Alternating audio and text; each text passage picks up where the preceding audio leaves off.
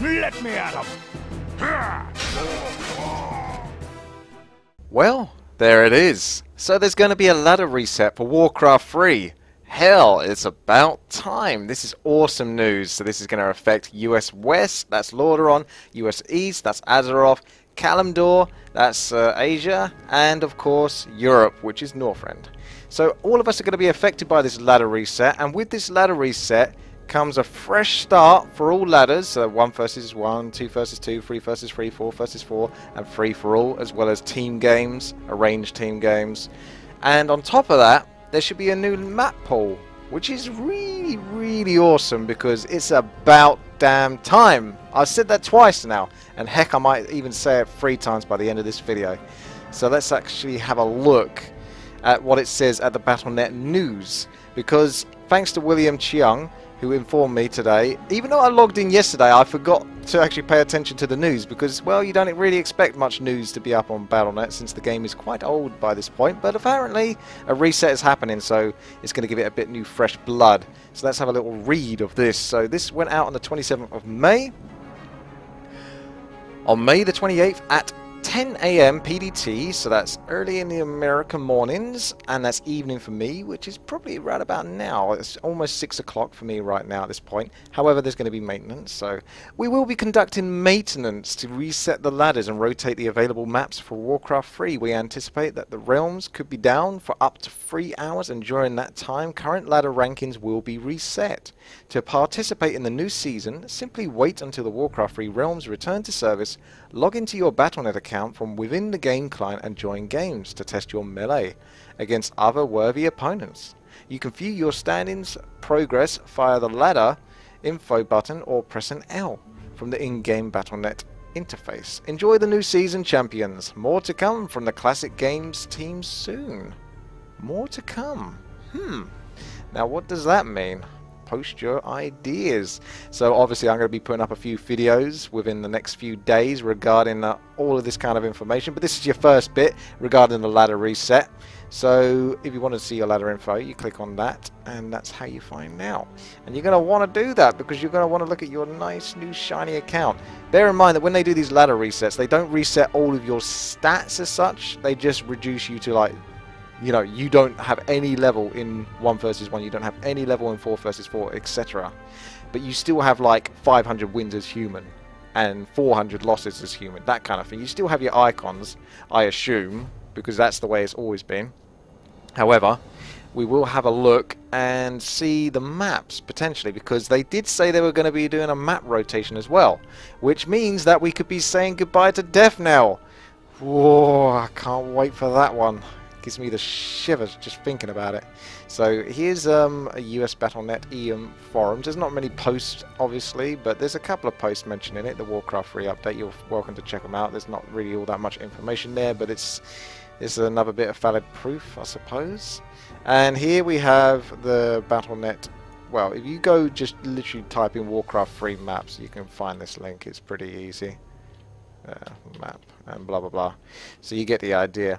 And um, down here you can scroll to see the maps that are actually on the ladder, although this is kind of outdated because it doesn't include Death Knell. However, I will be going over the maps very shortly in a moment just to sort of give you my opinions on the maps and what I would like to see and what I won't like to see.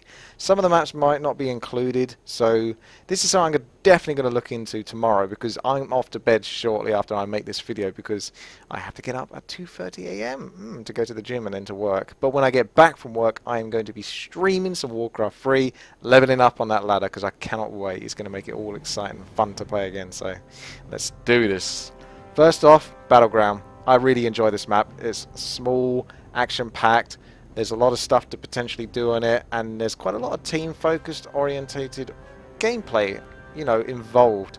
So definitely a big yes for me on Battleground. Cherryville, if you'd like to work when I click on you. Um, I could see this one go. It's not a bad map. I'm a little bit bored and I feel like it's a little stale. It's got potential, but I feel like it's a little rigid. So there's a little nondescript there for you, but I feel this map's a little rigid. It could be spiced up a little bit more, and I don't know, I feel like I have very similar games on this map, so I wouldn't mind seeing this one be changed. Deadlock. We can definitely keep this one in. This is much like Battleground. For God's sake, it's not even working when I click on the... There we go. Right, okay, Battleground. So it's pretty similar to that in a sense that everyone's right around each other, but you've got the ability to go pure diagonal to this guy or around here to this expansion or even to the middle. I definitely want to see this map stay. It's an, it's a fun one and I can get quite a few varied games, particularly with the mercenary camps as well. That's always a good thing. Dragon Falls, this has to go. Um, it's actually a pretty good map if I'm honest. However, I hate the stale feeling of this kind of linear pathway towards your enemies or going the long way around which really punishes you and then you might just get screwed over from all of that way. And you kind of run out of creeps pretty quickly on this map. It feels like there's not so much to do. You do have Goblin Laboratories, which are awesome in terms of the Zeppelin harass, but because the allies are nearby each other, they can often help each other out versus Zeppelin harass pretty easily. So I'm not that keen on this map. I feel this map tends to be a little boring for me, however, you might disagree. So I could see Dragon Falls go. Friends. Wow.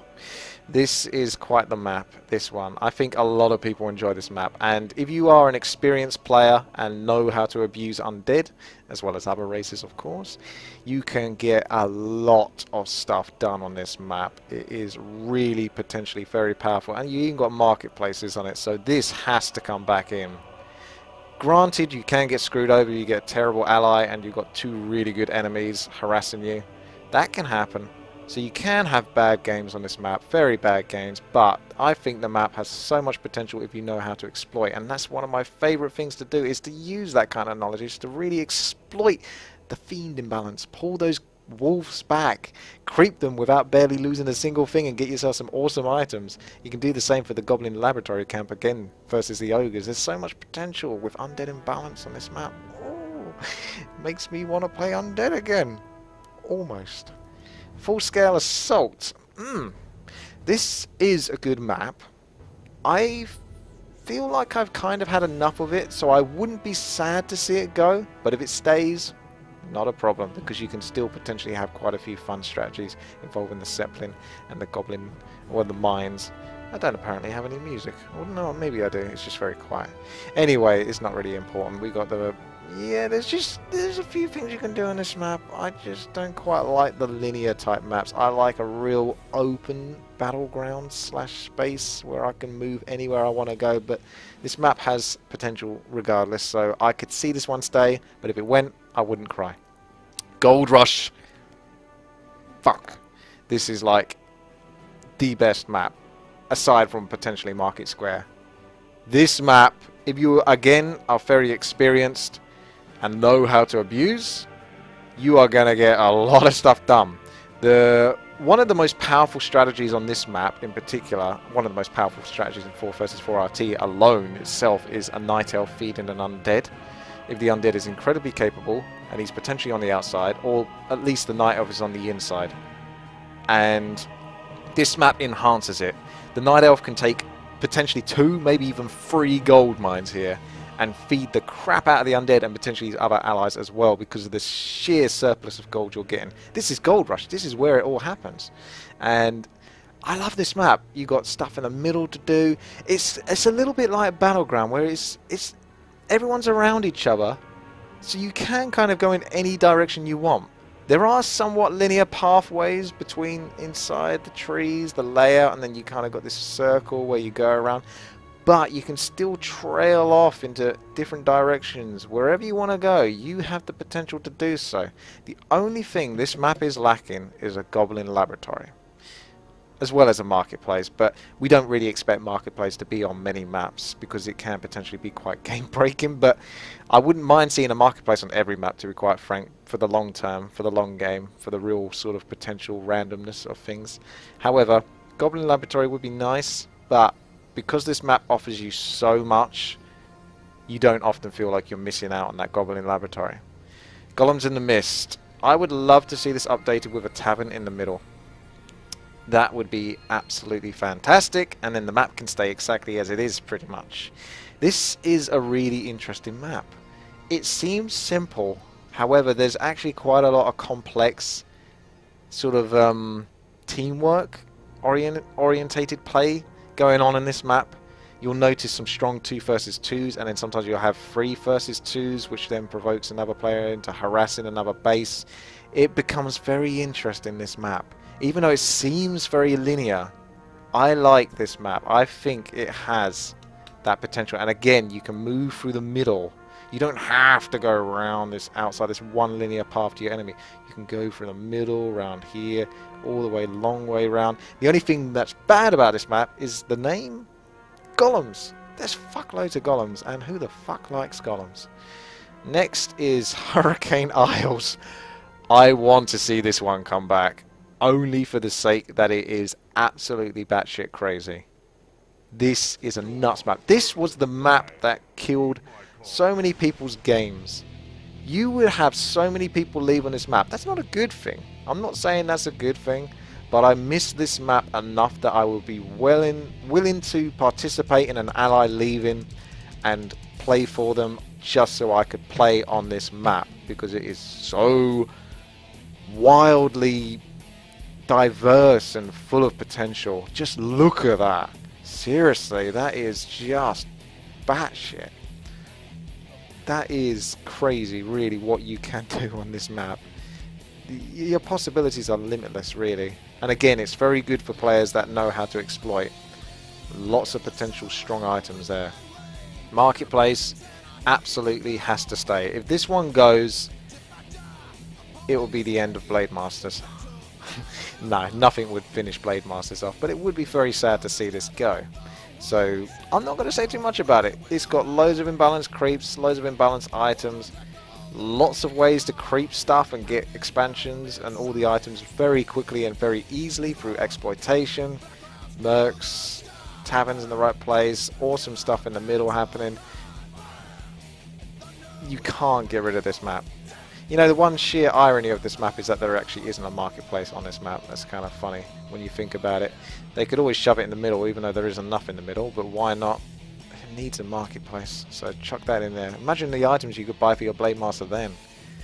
Mur'gul Oasis, one of my favourite maps, but at the same time one of my most hated maps, only when you're left in a situation that is truly unfair to you. Otherwise, I am willing to play this map for many, many, many games. I've always enjoyed this map, and I think I always will, because it's always got those potentials for, you know, lots of exploitive creeping as well. I just like that kind of stuff. The only thing this map lacks on is additional creeps to sort of benefit from. However, there's still so much vibrancy from this map. I mean, look at the colours. I just like the jungle theme. So that's a yes from me. Slalom. No. We should not see this map come back. If it does come back, I will play it and I will do what I need to do on this map and I will try to enjoy it. However, I don't think this is a particularly well made map. It kind of actually is very well targeted towards 4 versus 4 if you're going for the whole everyone groups together in a 4 versus 4, a true 4 versus 4 battle. However, that just exemplifies the amount of luck and randomness that comes into it and whether your allies are good or not. So there's very there's not so much potential for a solo player to really kick ass on this map, which is probably why I'm not the biggest fan of it. So we could say no to that one. Twilight Ruins. A brilliant map, really is. Look at it, it's even got four marketplaces on it. There's so much potential on this map and it's nice and open. There's lots of ways to get to your enemies. This has to stay. I've played it quite a lot of times. I've definitely done pretty much everything I think I can pretty much do on this map. However, I still want to play it. So I'm happy to see this one come back. Now, as for Death Knell, which I can't show you, that's a definite no and all the other maps that I can't think of that might currently be on the ladder, which I could actually probably check if I went to play game. This would be another way to look at it, but I was just showing you the, the big pictures, the big boys. So you got Battleground, Cherryville, no, Deadlock, yeah, we've been over all of these. So these are basically the maps that I've just been covering. Ah, Deadlands was another one. That can stay. It's different enough to the other maps that I think it deserves to stay. However, I wouldn't be terrified if it was replaced with something else. Death Knell, hell no. And Last Man Standing, I think this map should go. I have fun on it, but it really is just a mash fest. It's just, if your team, eh, this is similar to the slalom potential. If your team is shit, you are going to have a horrible time because they might be good and they will creep through all the powerful creeps, get the great items, get the stuff in the middle, and just bulldoze you over. And then they can potentially get the dragons as well. I love the dragons being there, and I always try to exploit them, but it's a little bit samey. There's not that much you can do on this map too different, really. There needs to be more potential for boarding parties to harass with zeppelins in enemy bases and stuff like that, but that just doesn't really happen because people just build loads of towers on the outside bases, and it becomes very linear. So, there you go. Those are the maps, and I will definitely be covering this again, like I say, tomorrow. I'm going to go over the new maps that we will be getting. Preferably, there will be some new maps. Maps that we maybe never have seen before, or at least maps that we are very unfamiliar with. So, I am really up for them spicing it up, because obviously we've been playing with these maps for a long time now, so it would be fantastic if we could get some new stuff. Right then guys, thank you very much for watching and I hope you look forward to what the new ladder reset and map rotation brings to us. So make sure you uh, log on to Battle.net and I will be playing on Northrend.